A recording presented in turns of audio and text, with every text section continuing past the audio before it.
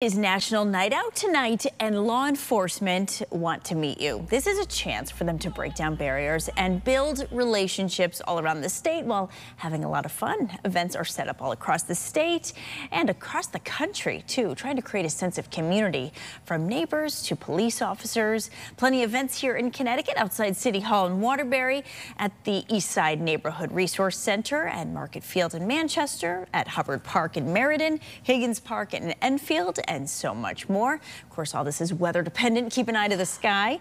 A list of locations are available on WTNH.com and the News 8 app.